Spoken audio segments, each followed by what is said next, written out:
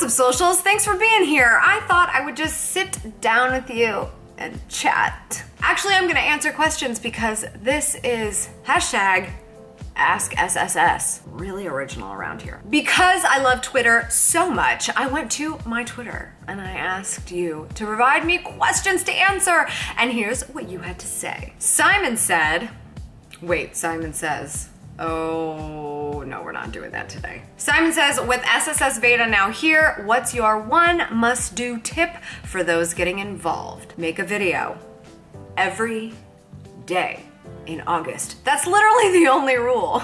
This is so, so important because every time I talk to people about really any aspect of life or business that they need help with, consistency is the biggest issue. So the entire point of this challenge, if you're not familiar, SSS Veda, vlog every day in August, is just for you to say to the world, I am going to post a video every day and I'm going to not give up, but if I miss a day, I'm going to come right back and get back on the horse. That's all it is. Your job is to just show up so that is literally my only tip.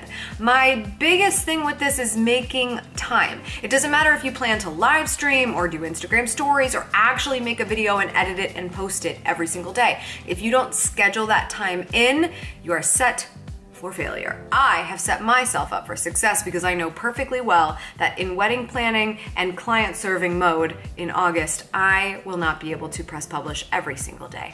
But I am going to talk to the camera every day and include it in sort of a montage of my vlogs from the week for you guys to enjoy. That's another tip. Just make your own rules. I mean, it's fine. This is literally just for you to practice talking to the camera. Here is a tweet from my friend Meg, who was at my Creative Live class, which is so cool because I hadn't met her in real life before, so just thought you should know. She tweeted, should you give 48 hours between video posting during non-Veda?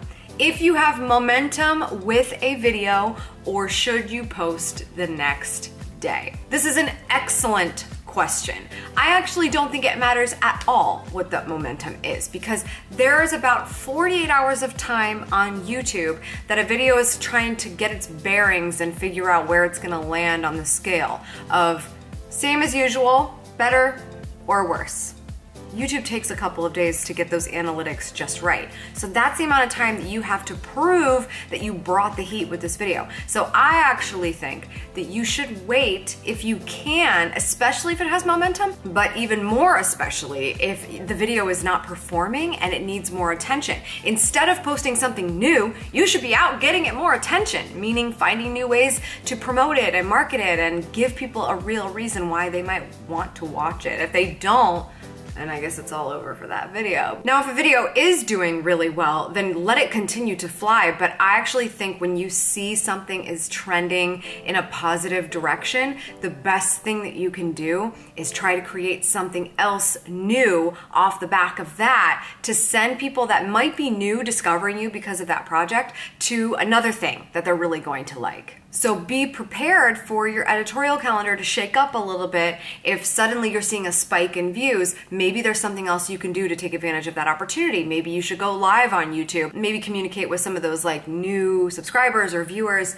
Uh, you really should be paying attention to your analytics for every upload because you never know when there's a new opportunity to come about. Here's what Atul tweeted. How can you be expressive in video and audio when you aren't naturally expressive? I like this question because it is being asked in a new way, although most people ask this same question to me all the time. Just because you don't think your personality is video ready doesn't mean that it isn't. It actually means that you're looking into yourself a little too much, judgy judging, instead of thinking about who you're doing this for. I would argue that instead of thinking, how can I be more expressive, just look at the camera, that lens, not yourself in the thing up there, that we ignore that person. We're looking at the lens of the camera like it is a person. My person is Charlotte. Hey Charlotte, hey girl. Sidebar real quick. I know we were just talking, but I have to explain why I'm talking to you.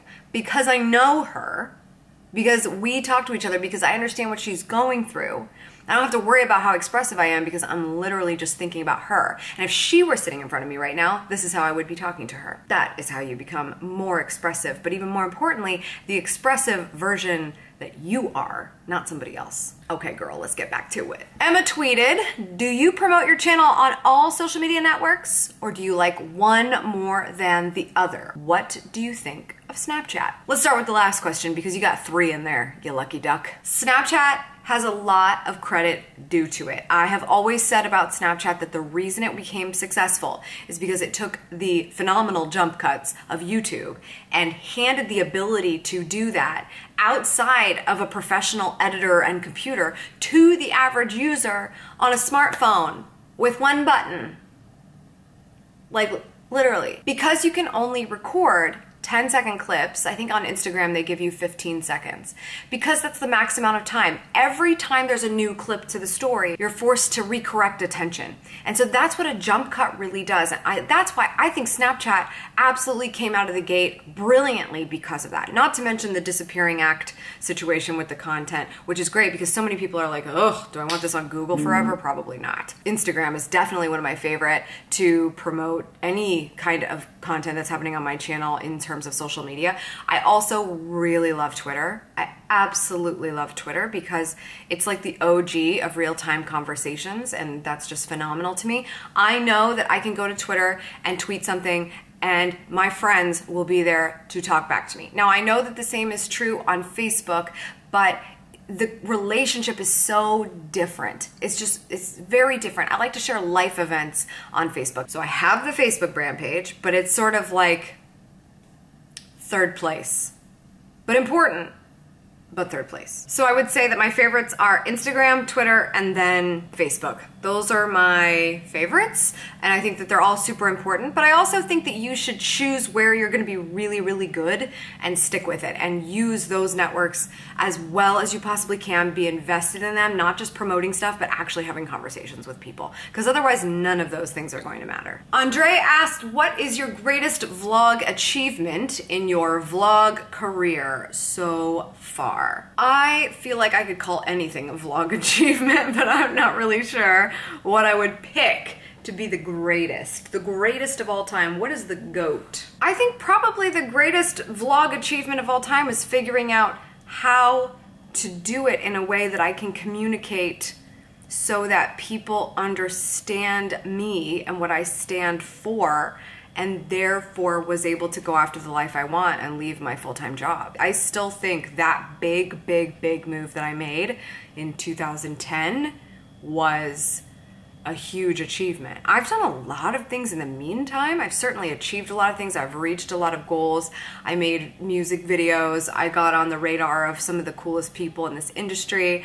I you guys know I'm super pumped. I just spoke at Creative Live. That was a huge goal for me, but being able to stand on my own two feet because of something I built and continue to build something else because of it, that's that's probably the greatest so far, I would have to say. Christina tweeted, to keep up with the 31 vlogs, are you still going to follow the three bucket strategy? Christina is talking about my bucketing strategy, which I go over in the book, Vlog Like a Boss. And so there is sometimes a three bucket strategy, or sometimes you can have more than that or less than that even if that's the case, there's a couple of things I want to I want to define here. SSS Veda is very much meant for those people who are not used to posting on a regular basis and certainly for the reason that they don't talk to the camera like it's a person yet. They have to start practicing that skill. So this may or may not come before you actually have a bucketing strategy. Bucketing can come next when you're getting more fine-tuned fine fine tuned fine tuned about that content going forward. If you are just getting used to talking to a camera, you probably don't have your buckets yet. You probably don't even know who you're talking to yet. So that really defines a lot of that if you look at the SSS Veda landing page, you can see that we actually provide topics to talk about, and they probably have nothing to do with anyone's bucket strategy because they're the most basic questions so that you actually have something to talk about that day. So you could decide to go with buckets or you could do what's on the calendar, it's completely up to you. I know I'm pretty sure on my bucketing strategy, and I'm also not actually gonna be posting 31 days this month. So I'm going to be sticking with my usual strategy and trying to fit in sort of the, the, the here's what I'm up to kind of vlogs because I know that's a lot of what everybody wants to see in August. So yes, there is still a bucket strategy in this for me. There's still so much I wanna share with you guys, and I have to put that out in a strategic way much like I talk about in the book. So I guess the answer is yes, ish. Salma, my friend Salma tweeted, Are talking head videos not enough anymore to grow a channel? Do you need more B-roll, cutaways, fancy schmancy edits happening? You're probably gonna be surprised to hear what the answer to this question is. I actually think that in order to grow a YouTube channel, you need not as much of this as you think you do. Now, you really do need to have good video content to keep attention these days. That being said, on a YouTube channel, someone is looking at a photo and a couple of words in a title to decide to watch. When someone's making the decision and they click on the video, and it's actually exactly what it said it was going to be, and you delivered on information or you provided some form of entertainment, as long as you made good on the photo and the title, then you're fine. You may not need B roll, you may not need fancy schmancy, you may not need any kind of cutaways. I advise them because they can keep the conversation a little bit more interesting here. But if you don't have them, it's not necessarily make or break. It's totally make or break on Facebook. Totally. If you do not have something visually compelling, they can't even hear it. It's showing up on the newsfeed. You have to make it more visually interesting for somebody to be pulled in. On YouTube, if you deliver and you just sat there and told people what's up, kind of like this video is about to be, that's enough. You do need to have sort of those pillar pieces that you do. Every once in a while, go crazy and get away from your bookshelf and do a musical book review. And that's the kind of thing that's sort of like that hero content that helps you elevate the channel a little bit. But you don't have to have it every time if you're really good at communicating. Always nice to have though. Always nice to have. Robert tweeted, What program do you use on a PC to edit videos for a beginner? When I started editing videos, I was on a PC. It was an enormous computer that took up my entire kitchen called a gateway. Oh, that's funny. Remember the gateway? In 2007, I used Windows Movie Maker, and I know that that still has to be in existence because I hear about it all the time. You could do that. It probably came with the computer software. Perfect option. There are also other things I've made videos about in the past. Adobe Spark, and that's a web client. You don't even have to download the software. It's very simplistic video editing, but it's readily available for you. Unfortunately, I think I heard YouTube is killing their editor, which is sad because it was always nice to be able to suggest that. Like, just upload your content to YouTube and stitch it together in YouTube. It's so easy, it's brilliant. And now they're killing it. So I guess that's not gonna be a thing anymore. But there are so many apps. You could literally have an app on your phone. Forget the computer, you can edit on your phone. That's why they're probably killing it because there's so many other options and they're very cheap. Here's what Myra's tweet said. I want to participate in Veda. Can I vlog daily with pre-recorded content? Why, yes you can. That's how I got away with Veda for so many years. Getting ahead of schedule as much as possible. It's completely up to you. This is literally a choose your own adventure challenge. If the end of the day, the thing that you have to do is post every single day, you pre-recording all of that stuff and getting it done is very impressive because even if you only do like five days at a time or, or even less than that, you are still practicing talking to the person behind this little lens here. And that's really what this is about. That's it. So if you can upload a video every day, you've fulfilled the challenge. I'm even breaking the rule. I made my own darn rules. I'm not even going to upload every day, but I'm going to try to share my life every single day. And that's all that matters because I've pretty much proven I can show up when I say I'm going to show up. So I say when I'm going to show up and I do show up. This is for anyone who is working on their ability to be consistent. So if you can be consistent, batch recording is a great idea. Thank you so much for chiming in on those questions. Those are really, really good video questions. I'm glad we knocked a couple of those out. Today is the first day of Vlog Every Day in August. Why? Because it's August 1st. So if you're watching this and you were thinking, oh, I missed my opportunity to join a challenge that will probably kill me, you have not gotten here too late. You can go to savvysexysocial.com slash SSSVeda and sign up. And signing up literally just means entering your name into the Google form so that everybody can see who's participating, subscribe to each other, like each other's videos, comment, support each other when we're feeling really weird about the fact that we're talking to a camera. We are here to support each other. That's the entire point of this. Show up, support, that's the deal. I want you to do one thing before you jump off this video, and that is to hit the subscribe button if you have not already, and of course, that bell that will notify you anytime I have a new video so that you don't miss my Veda episodes because I want to share them with you so that we can talk to each other on a regular basis because it's going to be very regular around here. That's what Veda is all about. Thank you so much for tuning in. I appreciate it as always. Remember to subscribe for good vibes and to go after the life you want. Cheers, La Croix for the win.